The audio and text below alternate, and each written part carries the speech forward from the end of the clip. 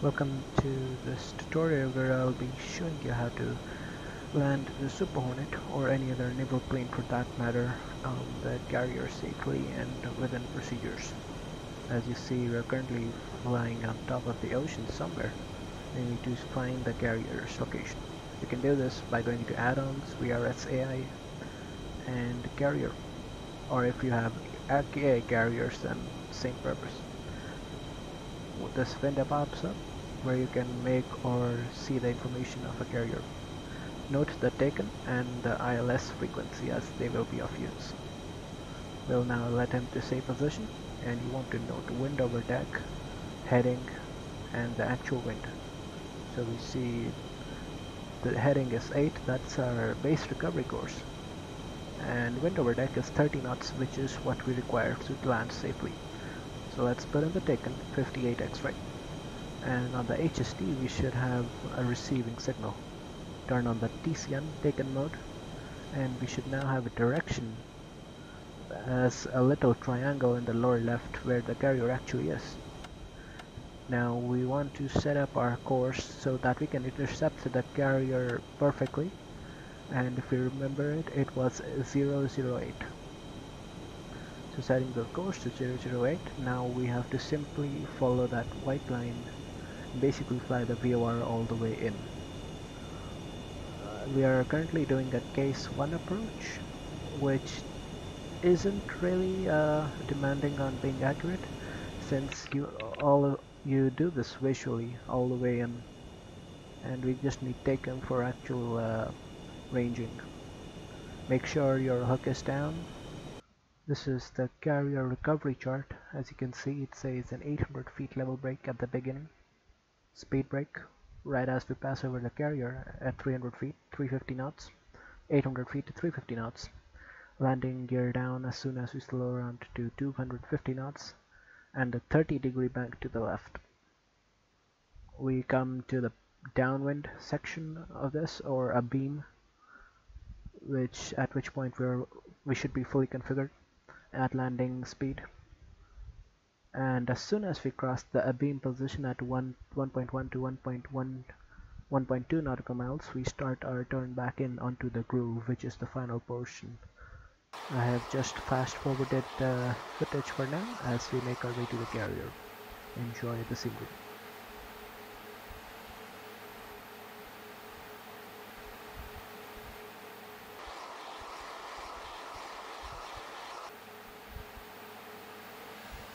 currently 7 miles away.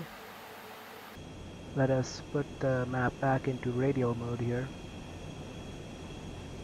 by going into mode and then TUP. We have set the mode back into radial mode. This way we can know what bearing is our downwind course or uh, abeam course which is the reciprocal of 6008.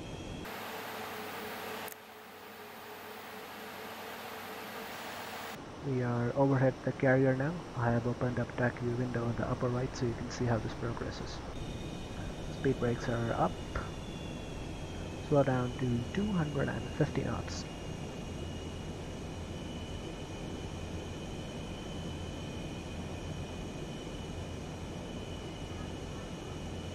Turn bank left at 1 mile.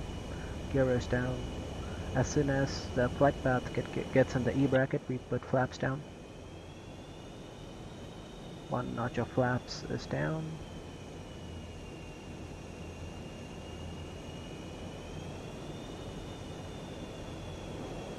The second notch of flap also comes down.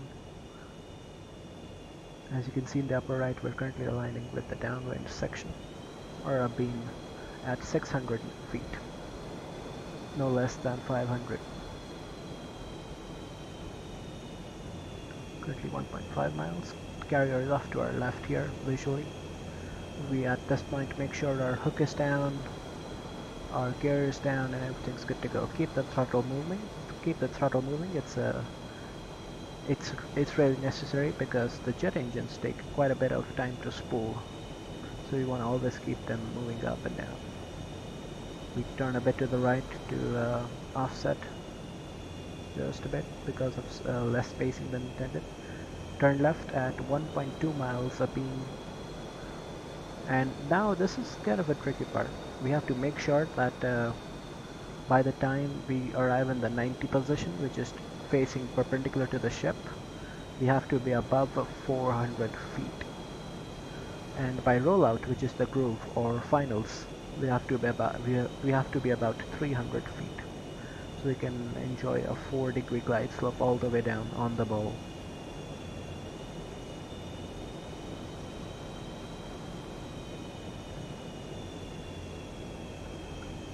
view window has changed in the upper right. And I'll just pause this right here as you can see on the ball there's a yellow glowing lights and two green lights. This is the datum light if this goes down then your airplane is dangerously low. If this goes up then your aircraft is high. We want to we want to keep this centered so green light should always match up with yellow light for perfect uh, three wire or four degree four degree glide slope if it turns red and starts to flash that's it. That is our wave off cue.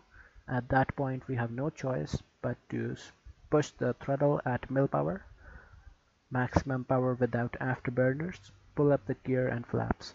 It is very important to not change the nose position as we may actually trap and we don't want to do that within a wave off because it is dangerous. Keep the throttle moving, keep the throttle moving. We're following the ball, keeping our alignment. Now we're doing a three three step check. We, we, we're checking the ball for glide slope, we're checking our flight path marker for alignment, and we're also keeping an eye on our altitude. Ball alignment altitude ball alignment ball alignment ball alignment ball ball ball ball trap as you can see because of FSX physics our trap was a bit eh. it is very important to note that at the final moments of the trap you should you should have your eye directly on the ball. Because and the trap should come as an actual surprise.